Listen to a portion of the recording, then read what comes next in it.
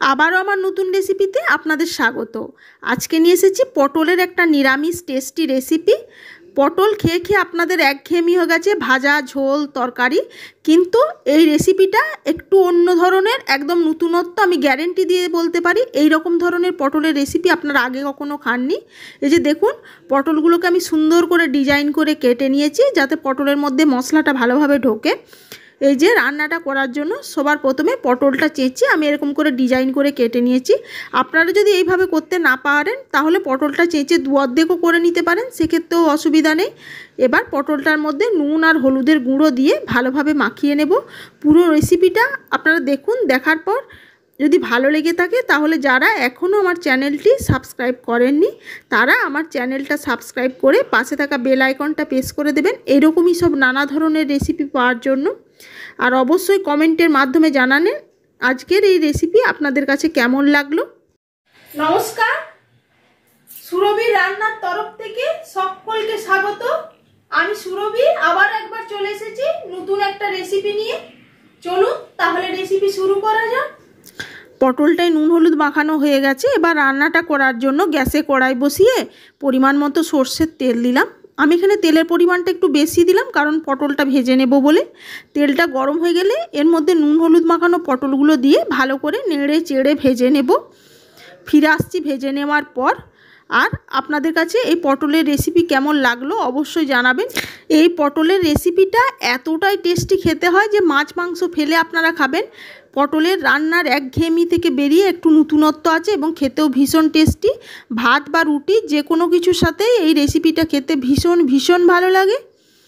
আর এছাড়া পটলেরও অনেক ধরনের রেসিপি আমার চ্যানেলে আছে। এছাড়া নানা ধরনের রেসিপিও আমার চ্যানেলে পেয়ে যাবেন। এই যে আপনাদের সাথে গল্প করতে করতে দেখুন, পটলগুলো ভাজা হয়ে গেছে। ভাজার পর দেখুন, ডিজাইনটা বেশি ভালো বোঝা যাচ্ছে। এরকম ডিজাইন করলে দেখতেও বেশি সুন্দর লাগে, খেতেও ভালো লাগবে, এর ভিতরে মশলাটা ভালোভাবে ঢুকে যাবে। সেই কারণে আমি এইভাবে ডিজাইন করে কেটে নিয়েছি। এই যে পটলগুলো এবারে আলাদা পাত্রে তুলে নিলাম।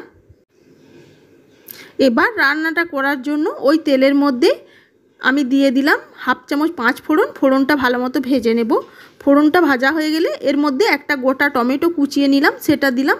এবার টমেটোটা ভালো করে তেলের মধ্যে নেড়ে চেড়ে মিশিয়ে নেব।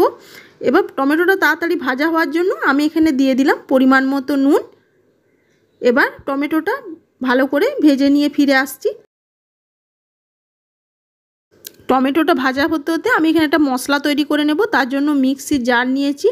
এবার এর মধ্যে দিয়ে দিলাম চীনা বাদাম, আর দিয়ে দেব এক চামচ কালো সর্ষে, আর দিয়ে দেব ঝালের জন্য কাঁচা লঙ্কা। ঝালটা আপনারা আপনাদের স্বাদ অনুযায়ী অ্যাডজাস্ট করে নেবেন। এবার পরিমাণ মতো জল দিয়ে এটার একটা মিহি পেস্ট তৈরি করে নিয়ে ফিরে আসছি।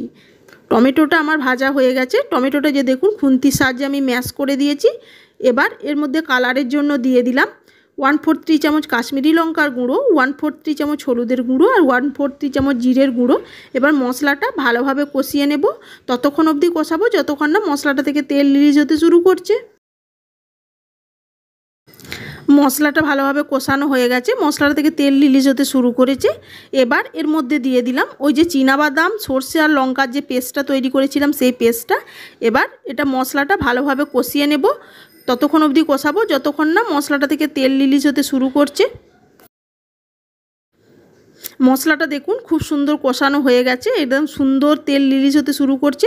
আর মশলাটা অবশ্যই কষানোর সময় কিন্তু ঘন ঘন নাড়বেন, না হলে তলায় লেগে যাবে। প্রয়োজনে একটু একটু জল দিয়ে কষিয়ে নেবেন, এরকম পর্যন্ত যতক্ষণ না এইভাবে তেল রিলিজ হচ্ছে। এবার মশলাটার মধ্যে দিয়ে দিলাম ভেজে রাখা পটলগুলো। এবার পটলগুলো দিয়ে নেড়ে চেড়ে ভালোভাবে মশলার সাথে কষিয়ে নেব।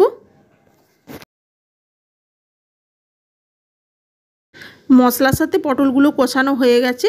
পটলগুলো থেকেও দেখুন তেল রিলিজ হতে শুরু করছে, কি সুন্দর একটা কালার এসছে। এবার গ্রেভি বানানোর জন্য দিয়ে দিলাম অল্প পরিমাণ জল। এই রান্নাটা কিন্তু খুব বেশি ঝোলঝোল হবে না, অল্প একটু জল দিলাম।